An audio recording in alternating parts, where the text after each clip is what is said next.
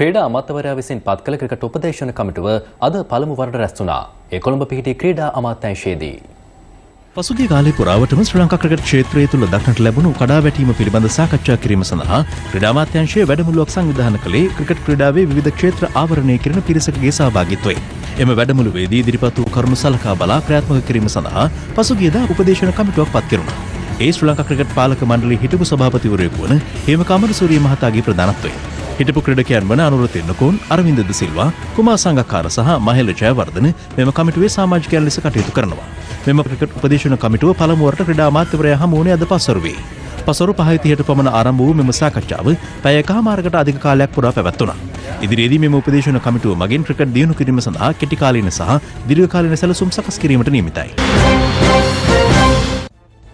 එසමගින් හිරු රාත්‍රී නවය තිහ ප්‍රධාන ප්‍රවෘත්ති ප්‍රකාශය අදට අවසන්. පැත්තක් නැතුව ඇත දැනගන්න ඔබේ ජංගම දුරකථන ජාලය අනුව තිරේ දිස්වන පරිදි හිරු ප්‍රවෘත්ති SMS සේවාව සක්‍රිය කරගන්න. හමුවෙම හෙටත් සවස 6:55ට. සුබ රාත්‍රියක්.